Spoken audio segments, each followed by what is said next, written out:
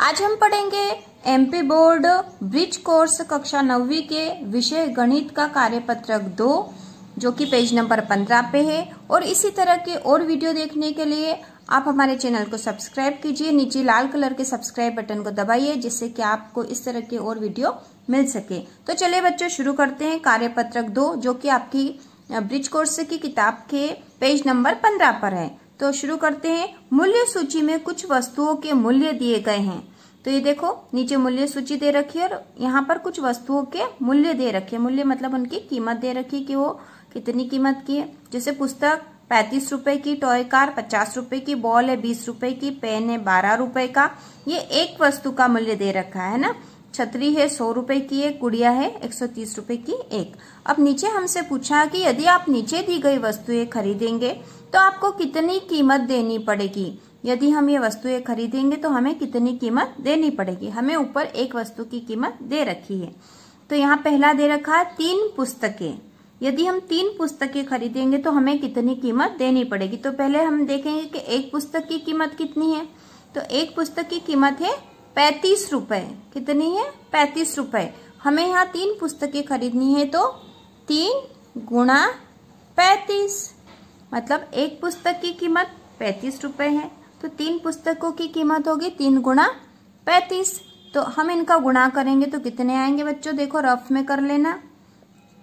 पैंतीस गुणा तीन तीन का पहाड़ा पाँच बार बोलेंगे, तीन पंचे पंद्रह की पाँच, असिल का एक, तीन का पहाड़ा तीन बार बोला, तीन तिया नौ और एक दस। तो कितना आया?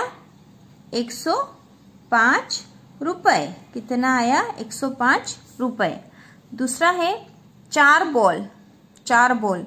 तो एक बॉल की कीमत कितनी? है बीस रुपए। तो चार बॉल की कितनी होगी? चार गुणा बीस। तो इनका गुणा करेंगे तो चार का पहाड़ा ज़ीरो बार बोला, ज़ीरो। फिर चार का पहाड़ा दो बार बोला, चार दुना आठ। अस्सी रुपए। उसी प्रकार तीसरा दे रखा है पाँच छतरिया। तो एक छतरी की कीमत कितनी है?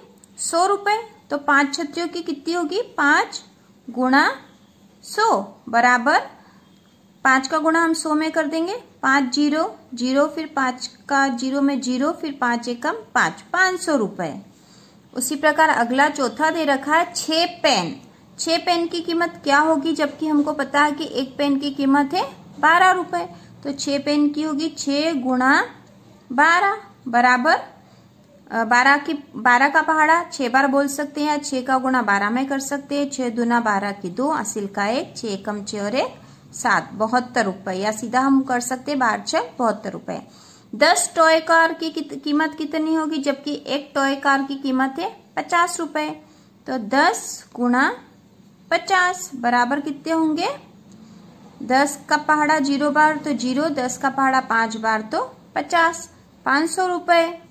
उसी प्रकार छह गुड़िया की कीमत कितनी होगी? जबकि एक गुड़िया की कीमत दे रखी है एक सौ तीस रुपए।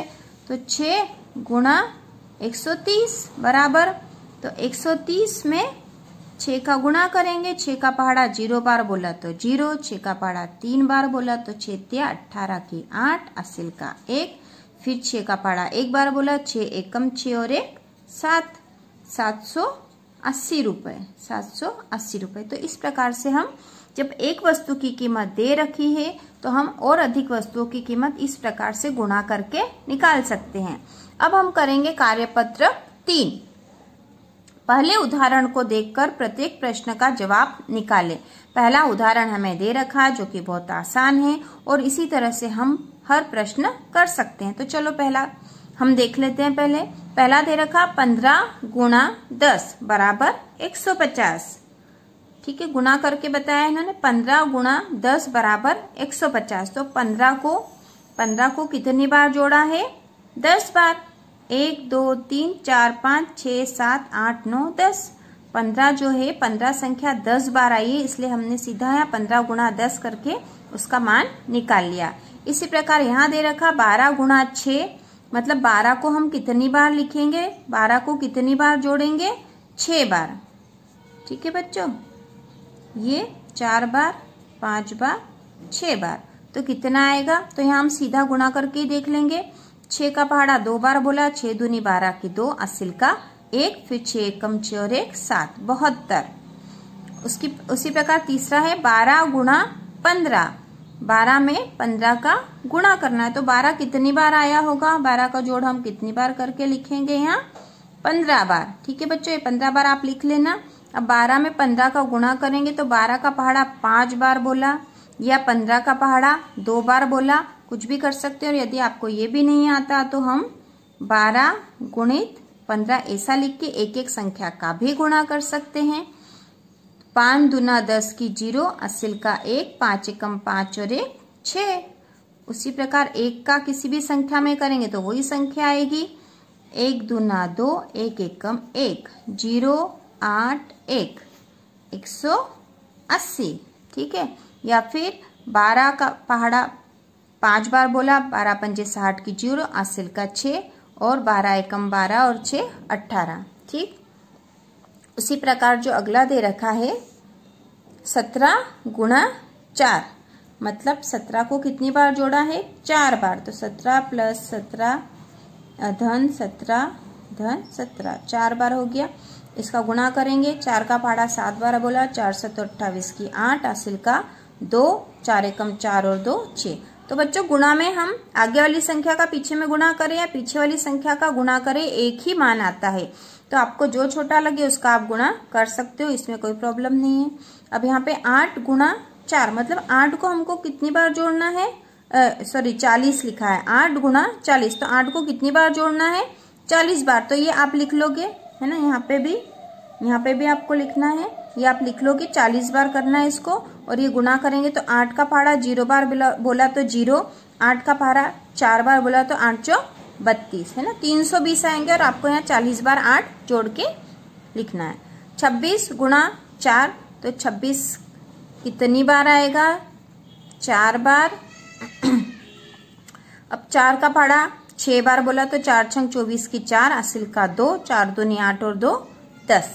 ठीक है बच्चों, इसी प्रकार से ये सारे क्वेश्चन बहुत आसान है। अड़तीस गुणा तीन मतलब अड़तीस को कितनी बार जोड़ना है? तीन बार। अड़तीस को कितनी बार जोड़ना है? तीन बार और अड़तीस में तीन का गुणा कर देंगे, गुणा आप सबको आता ही होगा या फिर देख लो। अड़तीस गुणा तीन तीन का पहाड़ा आठ बार बोला, तीन अठो चौबीस की चार, आसिल का दो, फिर तीन का पहाड़ा तीन बार बोला, तीन तिया नौ, और आसिल के दो जोड़ देंगे तो ग्यारह। तो यहाँ आएगा ग्यारह। सॉरी, एक सौ चौदह, है ना? एक सौ चौदह आएगा। उसी प्रकार पंद्रह गुणा तीन तो पंद्रह को कितनी बार जोड़ के लिखेंगे हम यहाँ पर? तीन बार, और इनका गुणा कर देंगे। पंद्रह का पहाड़ा तीन बार सीधा बोल सकते हैं या फिर यदि इधर से करेंगे तो तीन का पहाड़ा। पहले पाँच बार बोलेंगे, तीन पच्चे पंद्रह के पाँच, हासिल का एक, तीन एकम तीन, और एक चार, पंद्रह तिया पैतालीस। सत्रह गुणा दो मतलब सत्रह को जो, दो बार जोड़ना है, और इसका गुणा करके यहाँ लिख देंगे हम, दो सती चौदह की चार, हासिल का एक, दो एकम दो और एक, तीन, या फिर सीधा यदि सत्रह का पहाड़ा आता है तो सत्रह दुना चौतीस। उसी प्रकार अगला है तेरह गुणा तीन तो तेरह को हम कितनी बार लिखेंगे? तीन बार जोड़ेंगे यहाँ पर, और इनका गुणा करके यहाँ लिखेंगे तो तेरह का पहाड़ा तीन बार बोलेंगे तो तेरह तिया उनचालीस हो जाता है। है ना बच्चों? इधर से भी कर सकते हैं हम, या इधर से भी कहीं भी एक तरफ़ से करके देखना। जिधर आपको आसान लग रहा कि मैं इसका इसमें गुणा कर दू तो वो आप आसानी से कर सकते हो, जब इस तरह से दे रखा हो। लेकिन जब इस तरह से आपको जैसे 24 में दो का गुणा लिखा हो तो आप ये नीचे वाली जो संख्या लिखिए, गुणा के बाद वाली यहाँ इसी का पहाड़ा बोल के आप करोगे। ठीक है तो तेरह तिया, उनचालीस या फिर तीन तिया नौ और तीन एकम तीन।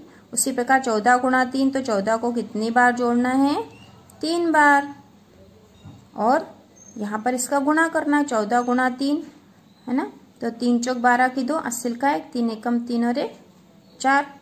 या फिर चौदह का भाड़ा तीन बार बोल सकते हैं, चौदह दुना अट्ठाईस, चौदह तिया बयालीस, है ना?